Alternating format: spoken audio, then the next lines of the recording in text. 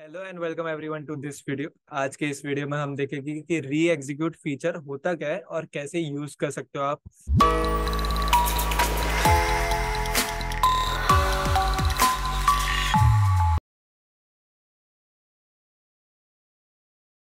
तो पहले तो आपको सर्च करना है क्यू डॉट टेक जैसे ही आप सर्च करोगे, आपको ये वेबसाइट ओपन हो जाएगा। तो अगर आपने अकाउंट नहीं बनाया तो आप ज्वाइन फॉर फ्री पे क्लिक कर सकते हो।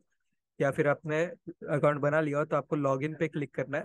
जैसे मैं लॉगिन पे क्लिक करता हूँ, मैंने ऑलरेडी लॉगिन करके रखा है तो आपको ये डैशबोर्ड ओपन हो जाएगा। यहाँ पे हमें जाना है ऑप्शंस में और एडवांस स्ट्रेटेजी बिल्डर में।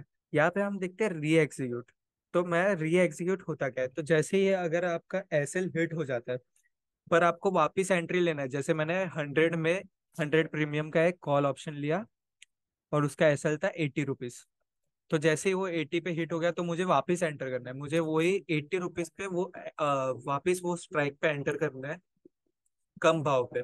तो मैं री एग्जीक्यूट ऑन कर दूँगा और यहाँ पे मुझे सिलेक्ट करना रहेगा री एग्जीक्यूट और मुझे बस कितनी बार ये री एग्जीक्यूट फीचर वर्क करना चाहिए, वो एंटर करना है। जितनी बार मैं करूँगा, उतनी बार जैसे ही कॉल जितनी बार ये लैक एसएल पे हिट होके एग्जिट होगा उतनी बार वो जो एग्जिट प्राइस पे उसी में वो वापस एंटर कर लेगा। इसमें हमने जाना कि री एग्जिट होता क्या है तो अगर आपको ये वीडियो पसंद है प्लीज़ शेयर कर देना।